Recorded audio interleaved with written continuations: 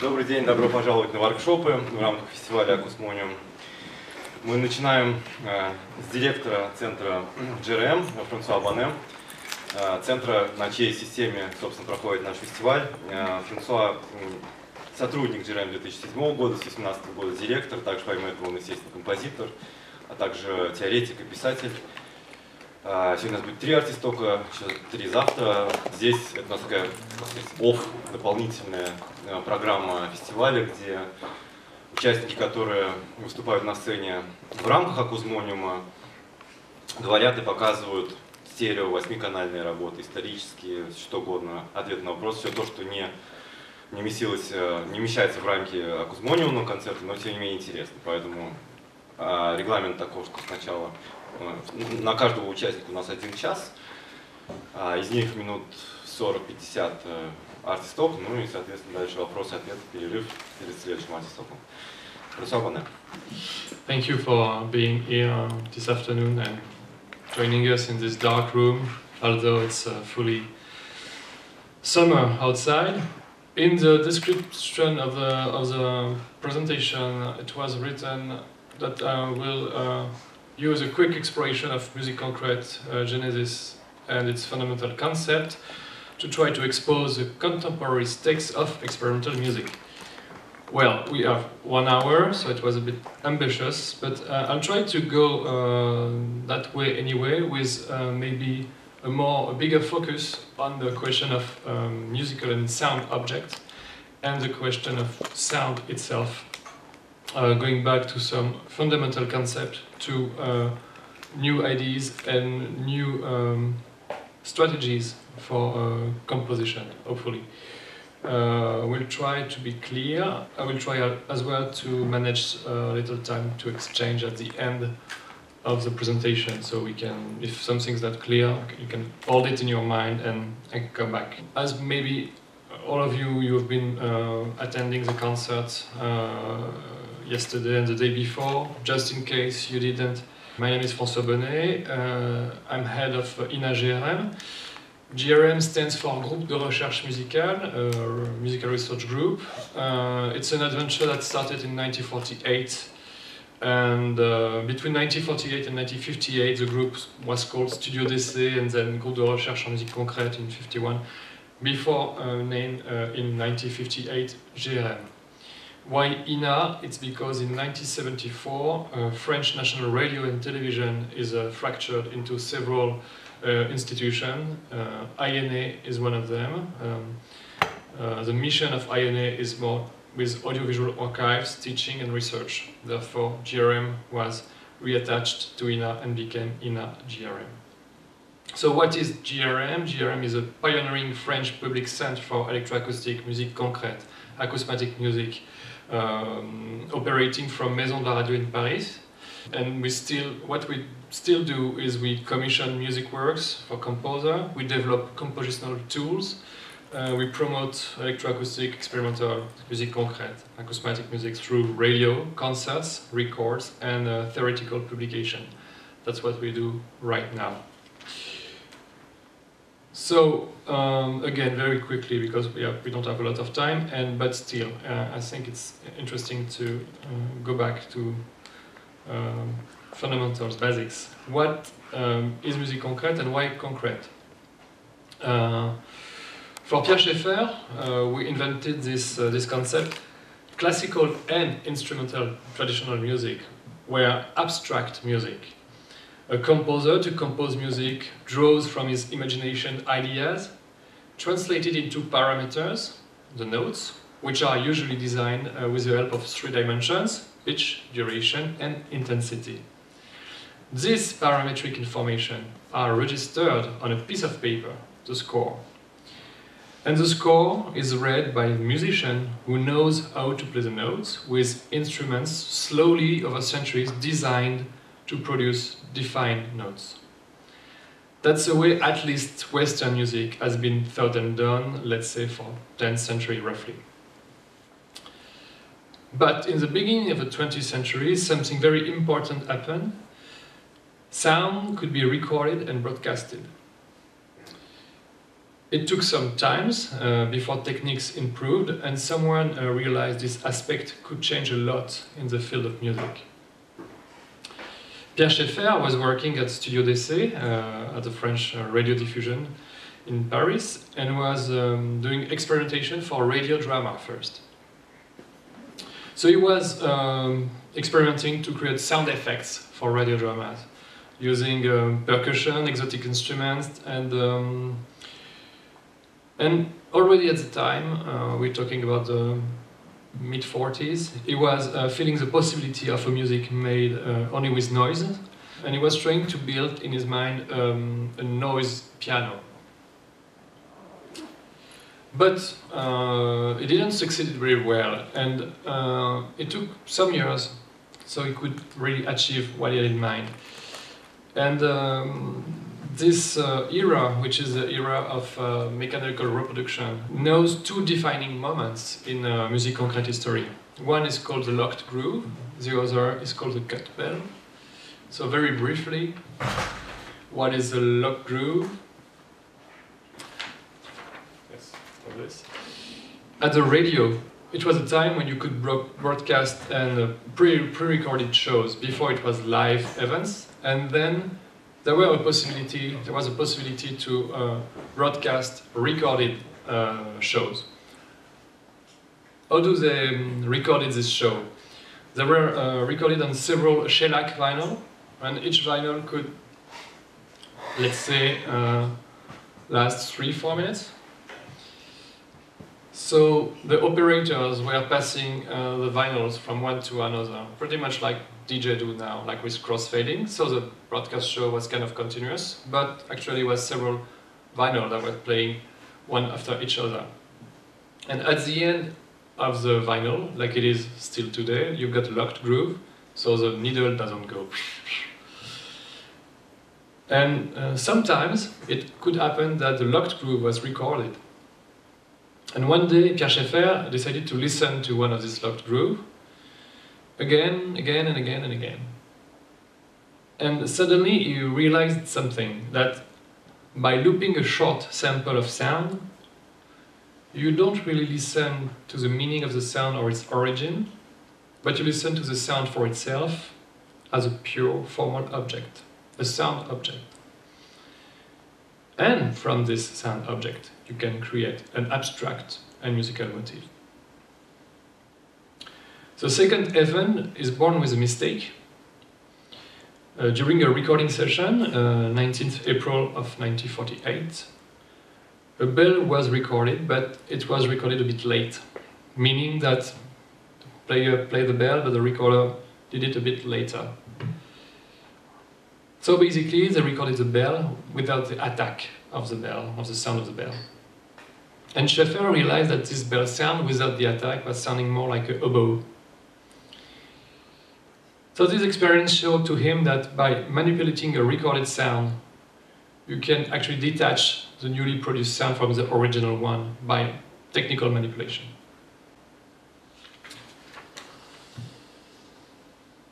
So let's come back to the, try to find a definition of music concrète very quickly. And we could say that music concrète is a music fixed on a media, composed with concrete sounds, wherever they came from, exploiting acousmatic listening. So we have different things. I'll try to go back to this definition very quickly again. Fixed on a media, as we say, originally it was on a vinyl, then very quickly it became magnetic tapes. Um, so the sound uh, could be um, memorized into uh, a tape. Now it's hard drive as audio files and um, it meant a lot of different things, but one of the things, it, it was possible to listen back to what you do with the manipulating sound in real time. And so uh, every choice of sound, every editing, every juxtaposition of sounds could be monitored instantly, which is very different from a score. When you write on the score, you imagine how it can be, then you give it to a musician, and then you realize the, the gap and usually rehearsal are made to find uh, to reduce the gap. So fixed the media with concrete sounds. Concrete for Schaeffer means uh, real, existing. Uh, sources uh, can be any sound, including uh, traditional music instruments. It can be other sounds. It's not like Daniel told uh, two days ago. It's not only noise. It was called like music of noises, but um, noises in this broad, broad meaning, which is basically every every sound possible. Exploiting acousmatic listening. So, acousmatic is a Pythagorean term reintroduced in uh, 1955 by French poet Jérôme Peignot, and it refers to this uh, tale of uh, Pythagoras, who was teaching um, behind a veil uh, or curtain, uh, and only the oldest student could be with Pythagoras. Uh, the other student, the acousmatikoi, had to be uh, on the other side of the, of the, of the, of the curtain. So this is a, uh, an analogy of uh, this idea of acousmatic, which is now uh, very much like um, listening to a sound without seeing its source, which is basically the situation at the radio, when you can hear a voice, you can hear music, but you can't hear the, and you can't see uh, the people who are doing it. So there's always um, a mystery behind. And two um, big uh, opportunities uh, results from the acousmatic situation. The first one is that uh, you can focus on the sound itself because you can't see anyone performing it. And so, I don't know if you if you, you, you probably did this experience, but when you're in the darkness, your sense of uh, hearing is much more developed because it's kind of compensate the lack of information you don't, have with your eyes.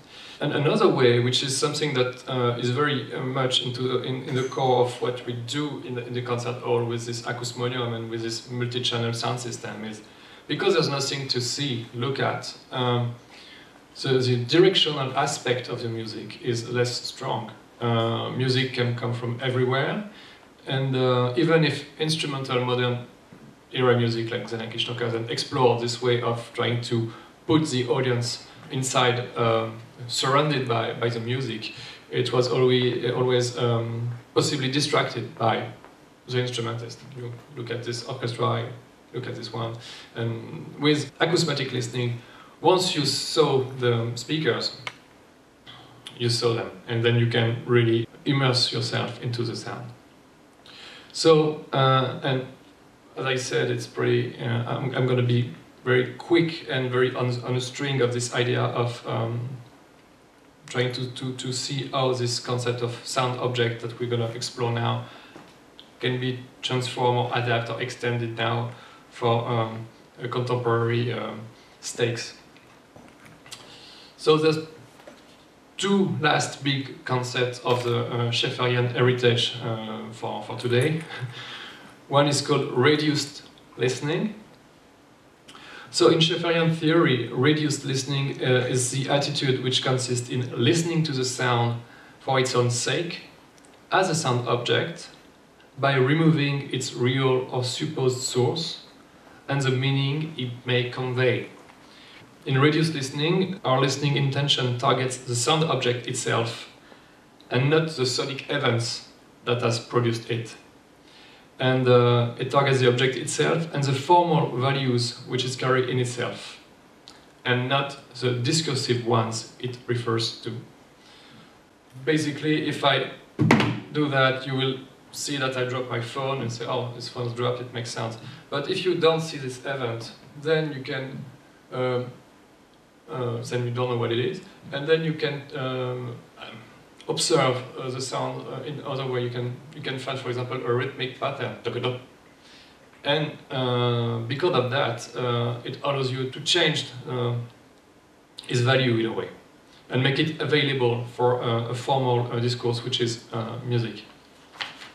In in the tradition of musique concrète. And that's uh, really the, the, point of, and the complexity of uh, Schaeffer theory. Uh, because the reduced listening um, supposed to, to get rid of everything and listen to the sound for itself as an object. And um, it triggers a lot of questions. And another point that triggers a lot of question is how a sound object become a musical object. Um, in Schaefferian theory, a sound object becomes a, a musical object when you decide that it is balanced and suitable enough to serve a musical purpose.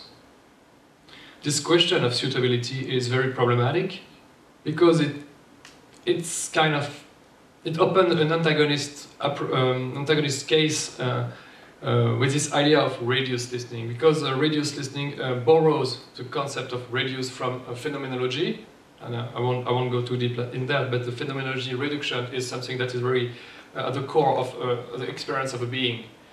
It's kind of I get rid of all my sets certain all my my knowledge and I'm just naked in front of the world, and uh, I realize I'm, I'm alive because I'm conscious of some, something or some, uh, and this um, very stripping for everything to go back to the um, only uh, uh, certainty that I'm I'm a being because I'm a I have a conscious, and the conscious is always conscious of something.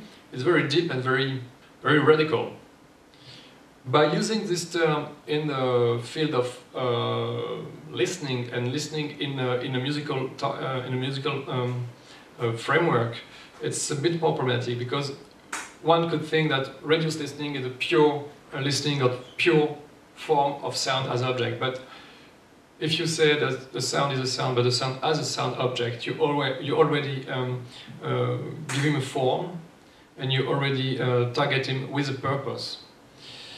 So uh, that doesn't mean that it doesn't work. That doesn't mean that it's um, not relevant.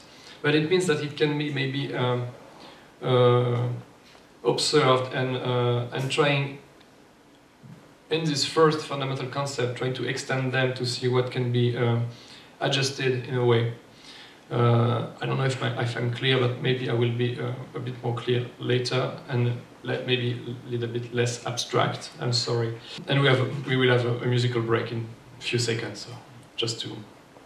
But um, the main approach of the Schaefferian era, which has discovered a lot and allow uh, a lot of a generation of generation of composers to uh, to use every sound possible and to be uh, at ease with that because there are there is a, a conceptual background that just back it up.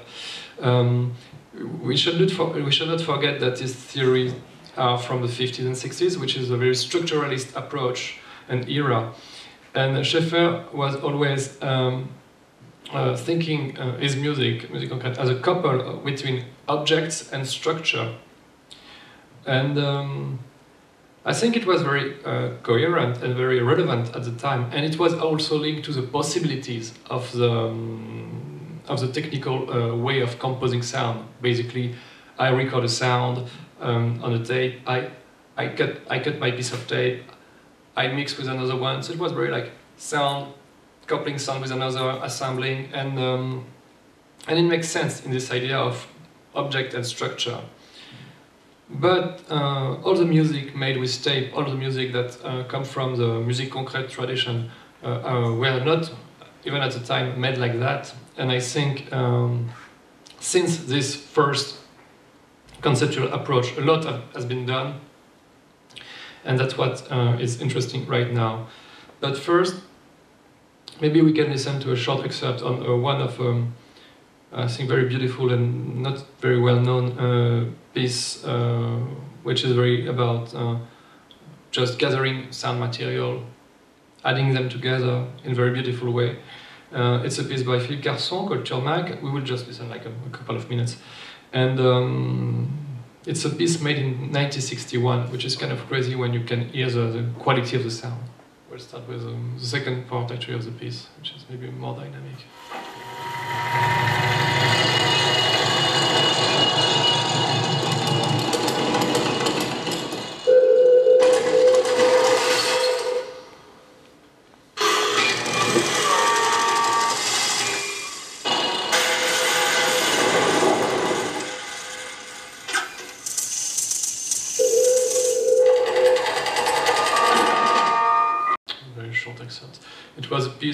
The, the, material was was uh, gathered in a factory of tobacco in uh, in the Netherlands, and um, it's a pretty short piece, but uh, yeah, it's very like this kind of sound gathered, put it to object, and and and um, and composed very much uh, in a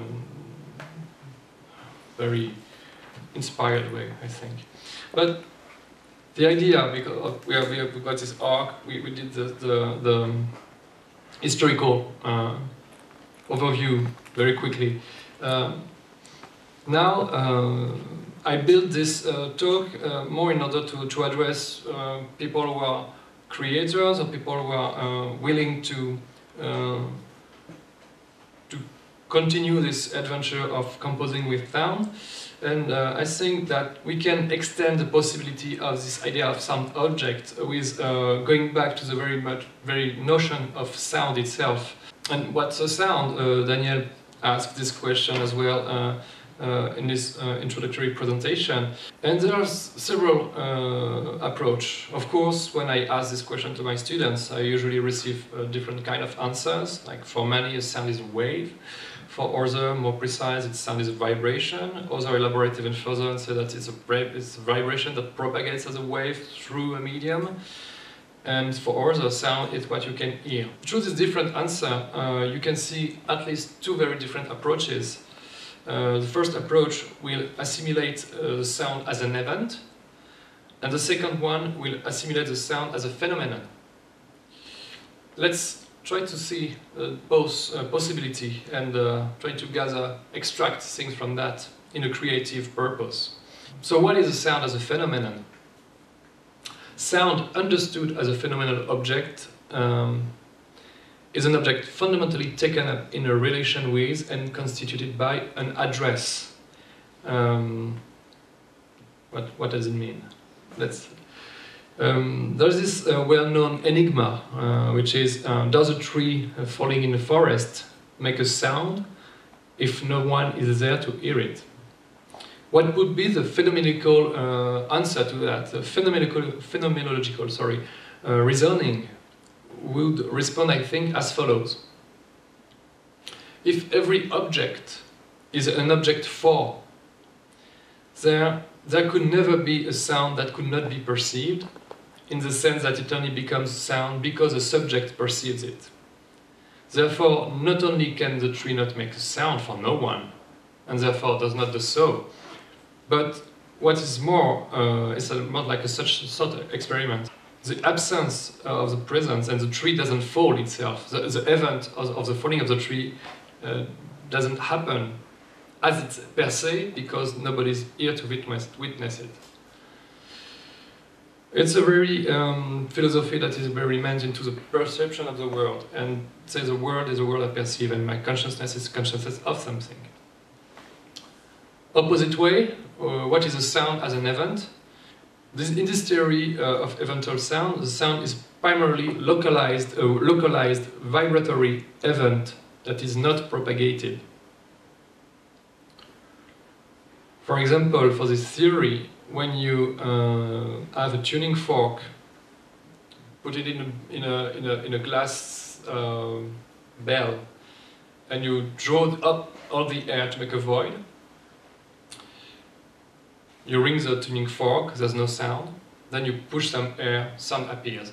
For the evental theory, there were sound already in the beginning because the event, um, physical event, uh, was there.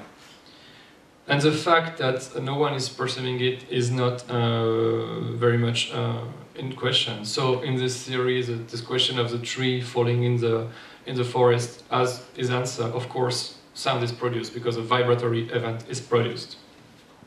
So what is right? What should we decide? Um, I won't take a, a poll here, but um, I think both uh, theories made a point and both made a weakness. For example, the weakness of uh, uh, phenomenological approach is um, with hallucination.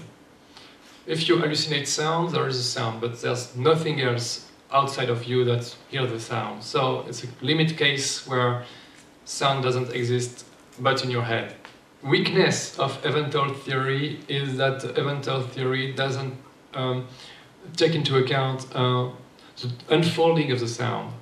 Uh, wet is the sound event when, uh, when you are on the seashore and uh, the sea is rumbling. There's a multiplicity of sound events and it's dampened by the air, there are echoes, there are resonances, and your experience of the sound is totally different of this multiplicity of um, sound events. So I'd like to propose this kind of uh, schizological approach. Uh, and this postulate of such an approach is that um, the nature of sound uh, can't be uh, considered uh, as um, a unity, but instead as a non-synthesizable multiplicity.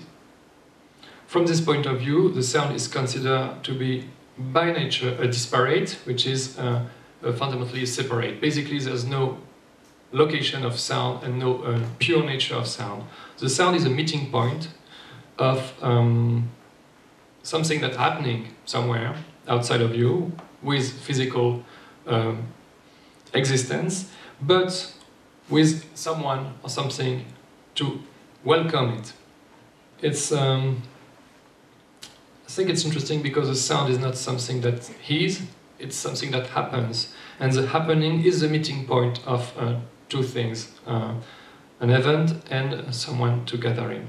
And I think it's very fertile if we go back to what uh, interests us here it's um, musical expression because it helps to see different point of access as creators to the sound. trying to be clear in my examples. With this uh, theory, we can identify three stages of uh, the, the lifespan of a sound. The production of the sound event, the transmission of the sound and its travel, and the reception of the sound. Let's see with examples now, because time is running and it's time to listen to some music. Let's see some examples of people who have um, make a clear choice on where they, they, they act.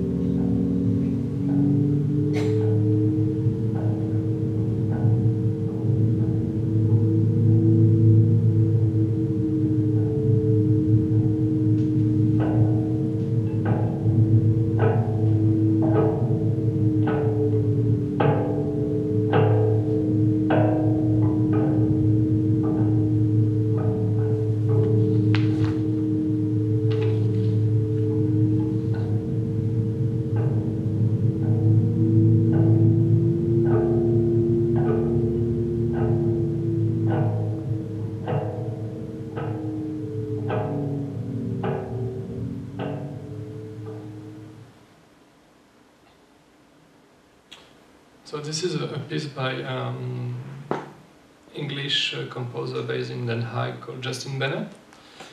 And title is called uh, Maasvlakte, Netherlands, Site 2. And um, here uh, the compositional gesture of Justin Bennett is very clear and very simple in a way, but very relevant. It, if he record a sound, so it's just one recording. It's not composed, it's not edited, it's just recorded. And here, um, Justin Bennett uh, has, is in this way like a phonographer, uh, very much like a photographer. His uh, skills and his talent is to find the place, find the sound, to find a good uh, way of point of view, of point of listening, and a good way to render it. And um, not a lot of people can um, could have done that actually.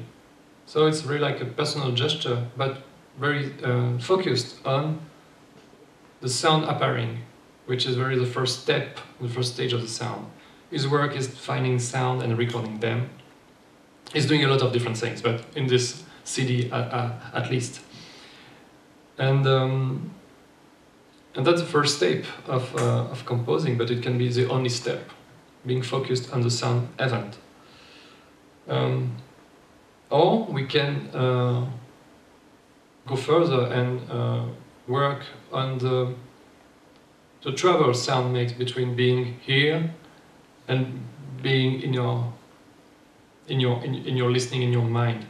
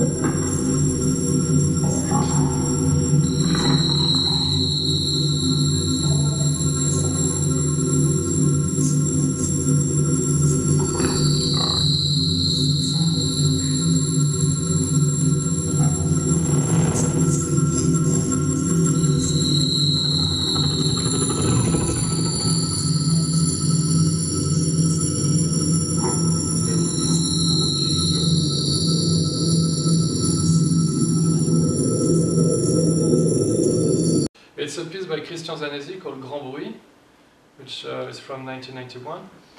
And this piece is very uh, interesting because um, uh, Christian was taking the suburb train every day and doing the same journey. And he was starting to listen to it every day to know it almost by heart. This station, this, oh, we go in a tunnel, and um, and to him, this whole sound, this whole journey was one sound, one uh, sound with a remarkable form, as he says. And he decided to record it and to reveal it like a, like a photograph in different baths, with different process, uh, different different treatment, different uh, uh, manipulation, transformation, to create slowly this big form that is is called like a big musical object compared to the structuralist approach of uh, Schaeffer, that it's still, again, relevant and used today. Uh, we have now this idea of uh, a whole musical object within his own uh, universe in, in, inside. And so the, uh, all the ability, all the compositional uh, focus is now not, not so much in the sound event, of course in the sound event, but in how you um, extract it from what it is and how you uh, uh, give in musical purposes. Another example, a bit out of the field of pure acoustic and music concrète, but still using the same tools, is this.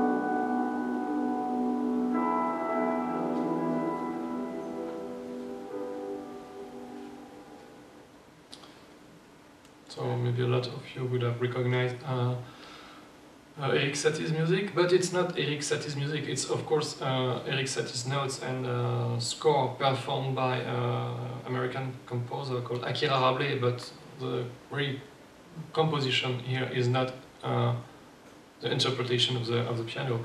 The composer here uh, doesn't compose the notes, they are already existing. He composes the quality of the sound, he composes the distance, It composes the impression, and is actually uh, trying to reactivate in this uh, record uh, the impression of remoteness he experienced listening to this piano music uh, as a child. Um, this composer is called Akira Rabelais, and the album uh, is called Dear Eisoptrophobia. Eisoptrophobia is the fear of seeing you, your face in the mirror. And I think it's very interesting here because it's very much about this uh, um, idea where do I uh, put my compositional uh, work? I don't compose a note. I don't. He could have not produced them. Actually, he's playing. Uh, he's playing himself the piano, but it's almost a detail. But he composes the way these uh, sounds are unfolding and are traveling in, into the space and the, and, the, and the time. And his compositional work is very much about working about the reactivation of time. And um, and I think this idea of the sound as a meeting point of uh, something that's happening and something that someone that is here to receive it allows this possibility of saying, okay, but maybe maybe this meeting meeting meeting point takes time and take um, a long distance and a long process. So we saw the sound as an event and the technique of uh, composition really linked to the event. Sound as a something that unfolds and travels through the space with uh, Christian and Akira. And at last, I'd like to, and it would be like my two last examples because time is running. It would be to um, focus as sound as an audible, which is a perceived phenomenon. And on this aspect, I think there's at least two ways of uh, dealing uh, with this aspect. You can either, either use uh, hard word to spell, the psychophysiology of the ear and try to play with that as a composer. Or you can uh, explore the sound as a placeholder of cultural and cognitive dimension, which, which is a bit erratic in, in the, in the, um, the doxa of uh, musique concrète. But let's not forget that musique concrète was strongly structured with concept, but was never so much a dogmatic music. And uh, if you think about Luc Ferrari, very early, this idea of hardcore music concrète, when you can't recognize sound, uh, was a bit uh, tempered. And, um, and even for Pierre Schaeffer himself, I think it's um, um, the idea of Schaeffer again is was to, to, to, to create an apparatus of concept to make, to make the music strong and valid in, in an intellectual way. But it was not designed to be like um, low so much. So there always been freedom, uh, and uh, I think it's uh, it's it's the best thing we could hope from that. Back to the um, to the sound as an audible, and um, let's have uh, one uh, example before the last one.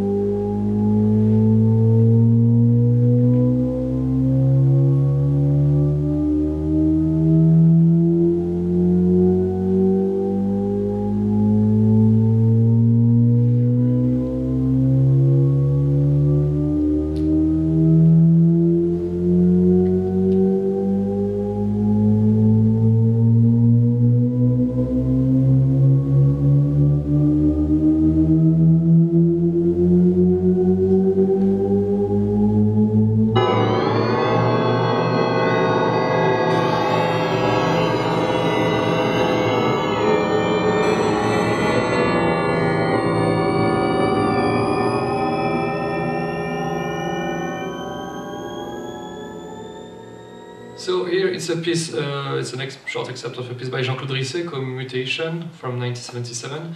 And here Jean-Claude Risset used a psychophysiological effect uh, which has been developed as Shepard tone, and Risset uh, modified it to like a continuous, continuous tone. It's a sound that seems to go up forever, and it's uh, basically triggering your ears with a technique of frequency coming, coming, coming, and and uh, um, I won't explain the Risset tone right now, but basically. The, the musical uh, dramaturgy here is made possible because your ear uh, works as it works.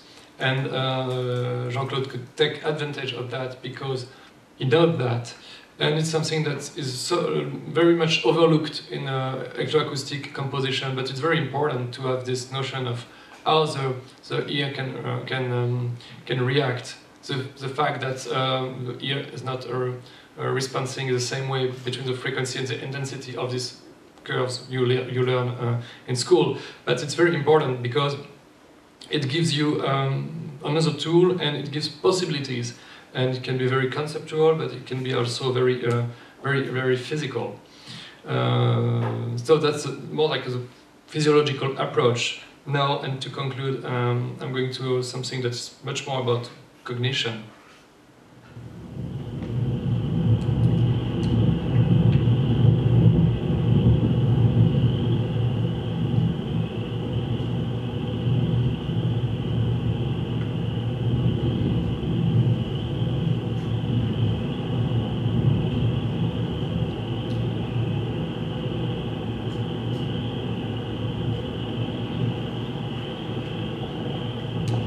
So very sorry, but you, you get the idea. It's like this for like an hour.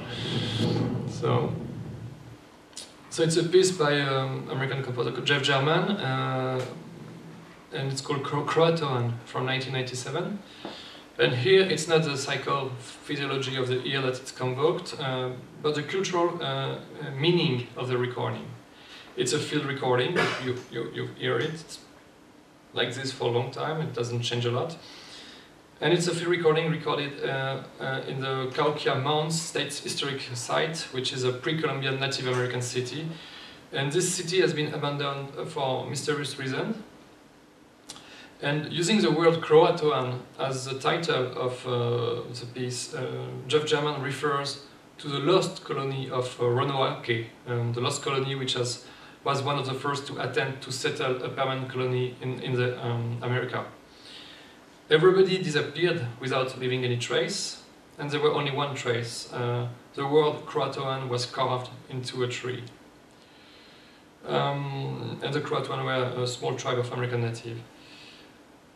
So this piece is very much about um, disappearance and uh, erasement of uh, all cultural background. Doesn't make much sense if you just listen to it without any of this indication. But with this indication and with this background, you listen to it differently. So um, that is to say that from uh, a pure sound event, a pure formalist approach, to a more conceptual, uh, even literary approach, you've got all these uh, possibilities for composition, and all are valid, of course. And um, I think what is uh, rather fascinating now in uh, acousmatic music production is that it's blend all these aspects. It's much more, it's much richer than um, a pure formalist approach, for example. And I think it's a big playground, uh, and a lot has been done, but a lot has to be done as well. So, thank you for your attention. And if you have any question, we have maybe five minutes.